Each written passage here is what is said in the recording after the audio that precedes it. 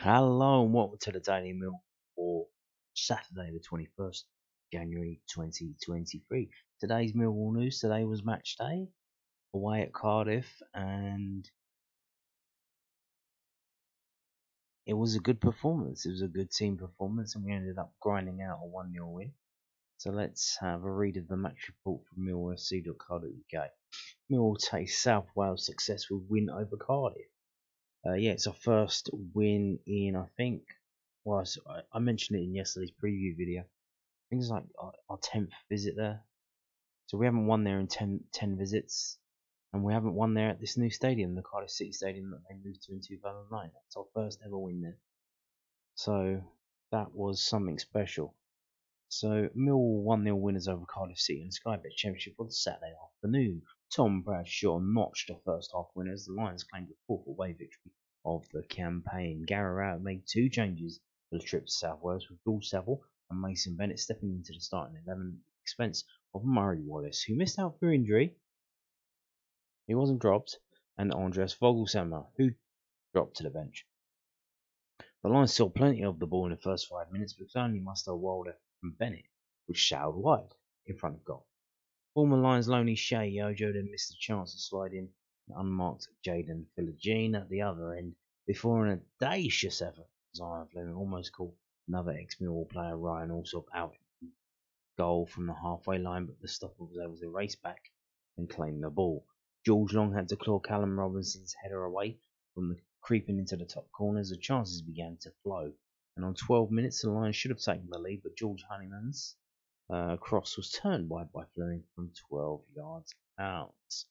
Uh, with 26 minutes on the clock, Millwall were in the lead. Philogene's cheap concession of possession allowed Jake Cooper to take control of the ball and run forward. Yes, Jake Cooper went on an amazing dribbling run, like uh, like a Maradona he was. He slotted a, a pass through to Bradshaw, who took advantage of sleepy defending by Cedric Kipre to nip in and strike home from an acute angle.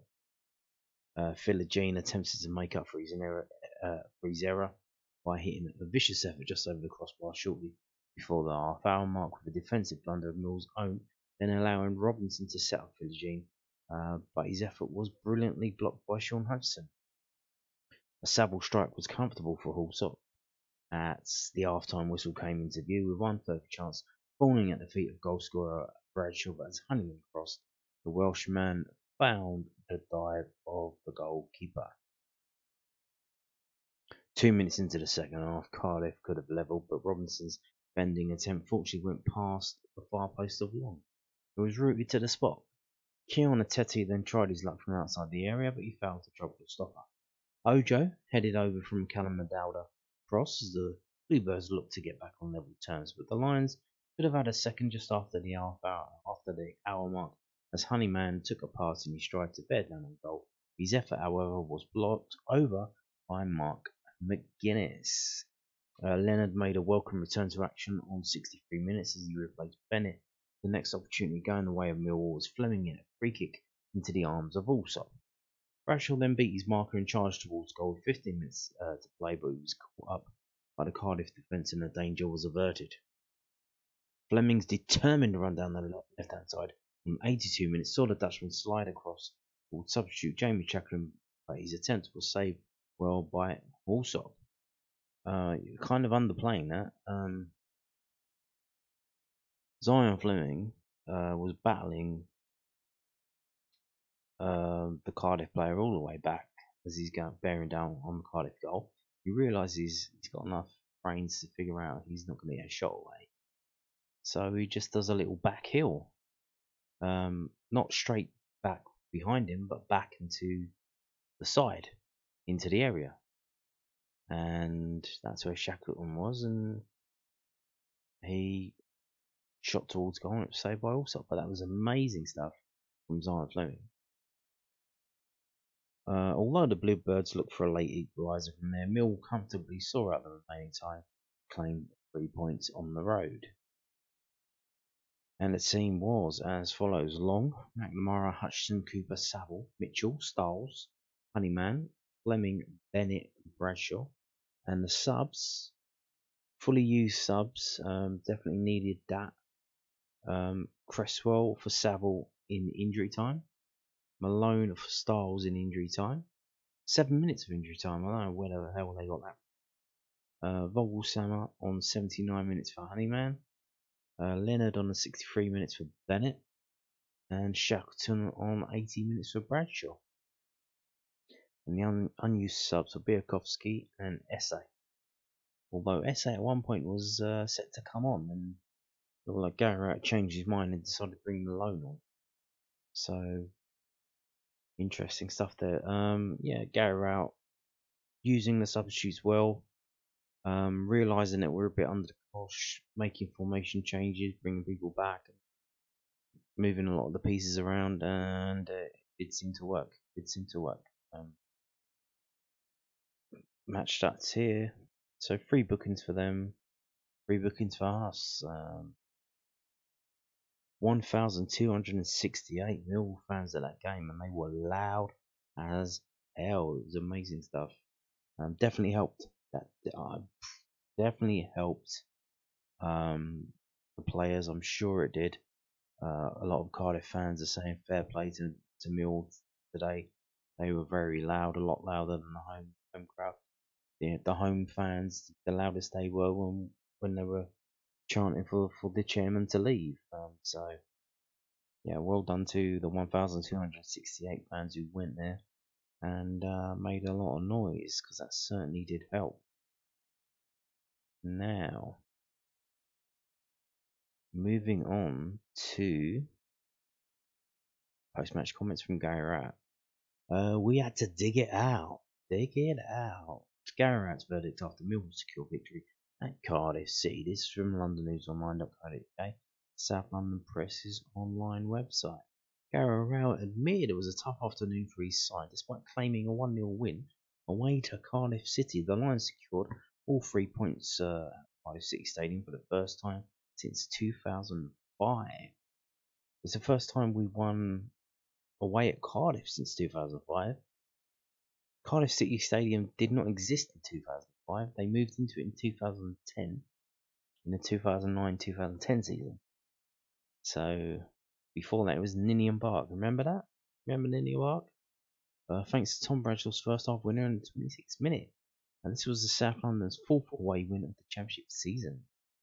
Uh, you could say that uh, for large parts of the game, certainly in the second half. It was pretty attritional, said Rowett. The game dictated out a little bit. Uh, when you come to Cardiff, uh, they've got almost nothing to lose. They always play with a front four and keep them quite high up against you. Every time we attacked and lost the ball, uh, we felt like we were almost four against four. We left ourselves very open at times. We could have dealt with it a lot better. Rowett changed formation three times as his side were to really deep and avoid conceding a late equaliser. Yeah, they um, Cardiff do draw a lot of games. They haven't won for 12 games, but they do draw quite a few games.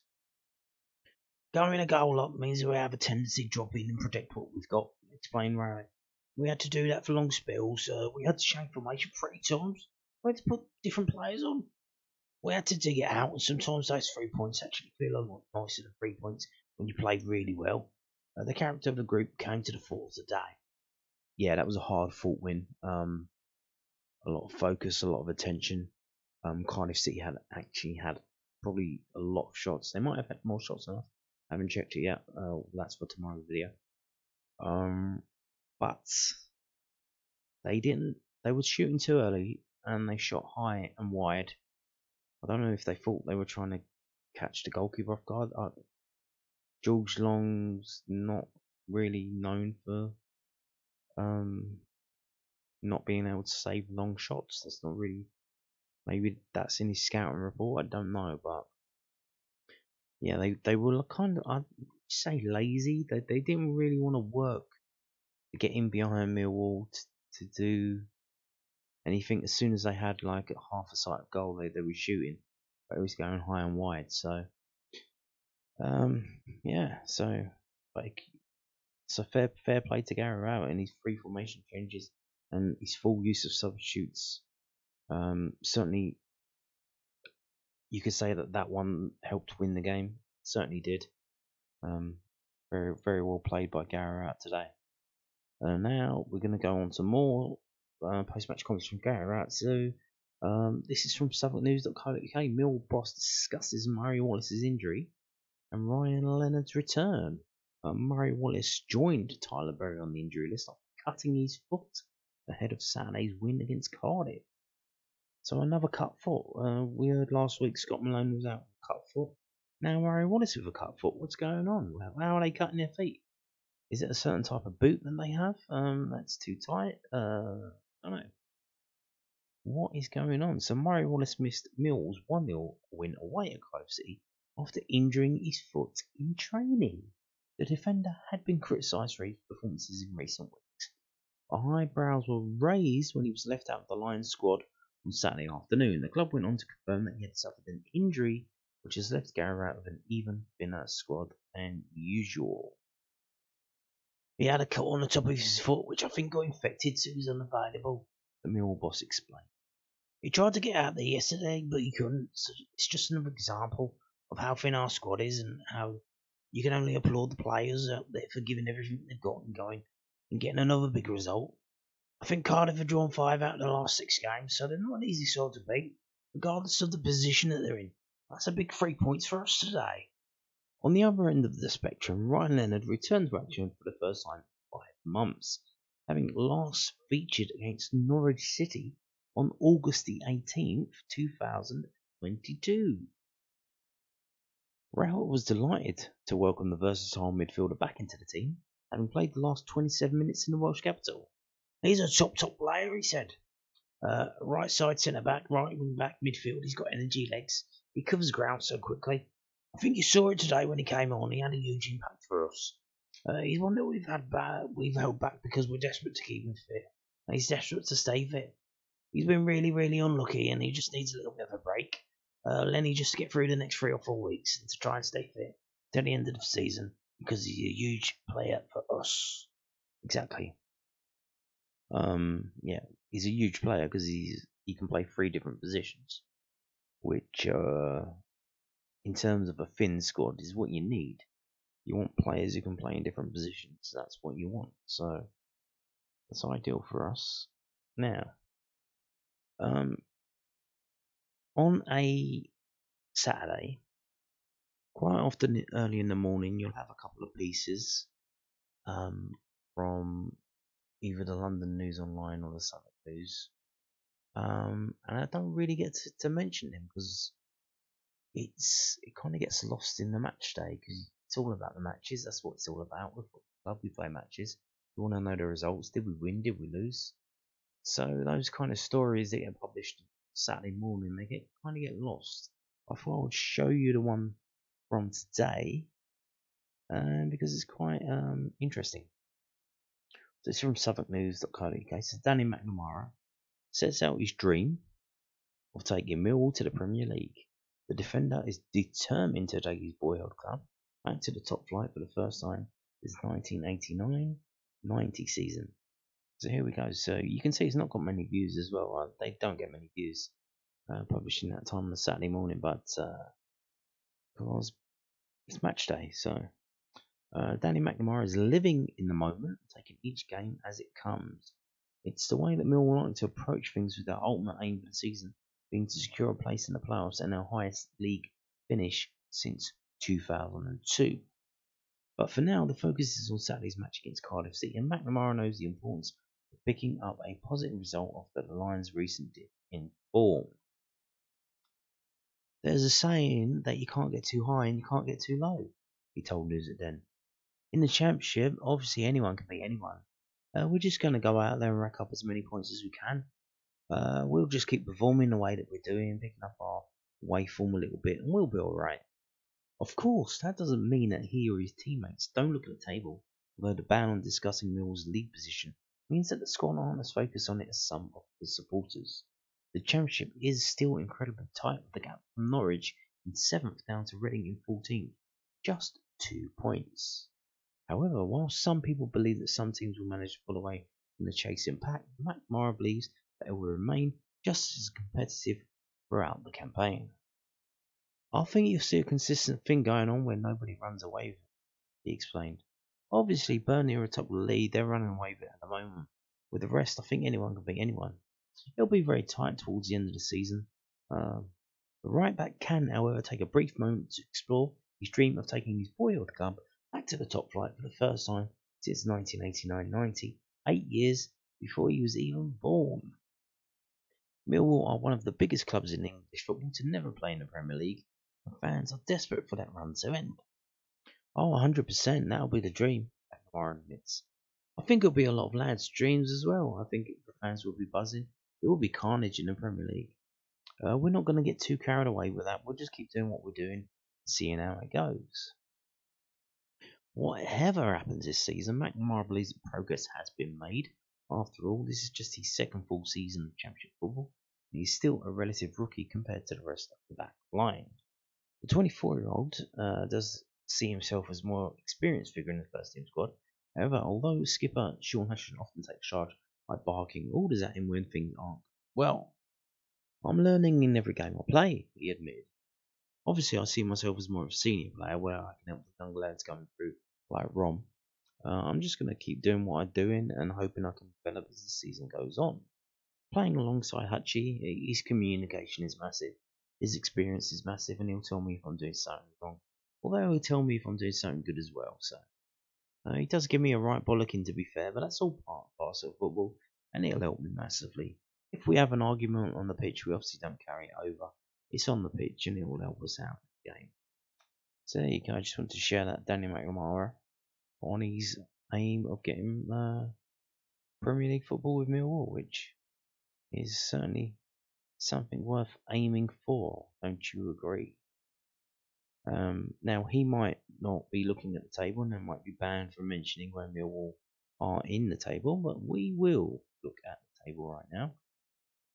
Uh, just because, because, because. Why not? So you can see, after the Middlesbrough defeat, we dropped down a bit. There was a bit of a gap. We closed.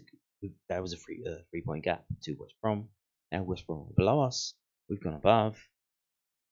It's up and down, up and down, isn't it? Um, so West Brom lost uh, against Burnley off a Friday night after a four win streak, and that that's what a loss will do to you. Drop you down.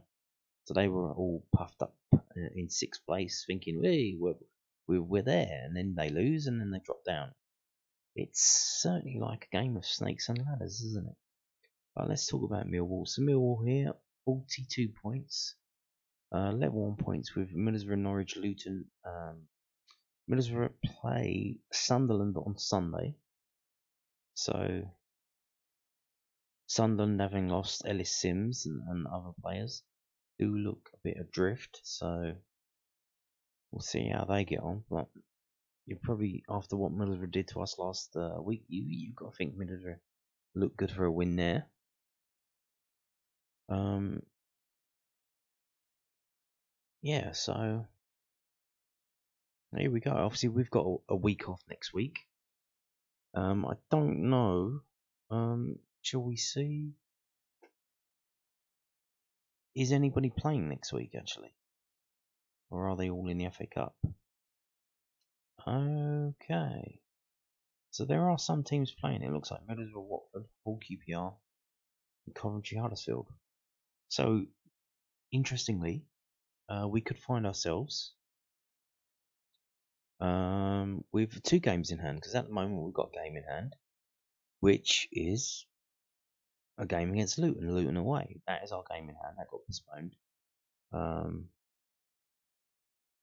so interesting. If that game in hand, very important now. If we win that, obviously it knocks Luton down and it, it pushes us up. Then the game in hand that we've got that we'll have coming up will be against Burnley. Burnley at home though. Our home form. Very good. Now, so while that win today was was very important, it didn't get us into the playoffs, and that's that's no problem. The aim is to keep getting to the playoffs on the lot, be there at the end of the season, the final day. But what this win did do, it pushed us up in the away league table. So in terms of away games, we were down here. We had a win and we've jumped up at least four or five places. So we're now on 15 away points for the season, which is pretty good. Um, could be a lot better. I think realistically we probably be need to be in the top eight actually. So we're only four points behind that. So, but yeah, if we can get ourselves up to round about here in terms of the away form, that means um, we're probably almost guaranteed to be uh, in the playoffs because we know that our away form is the problem. Because look at this. This is our home form this season.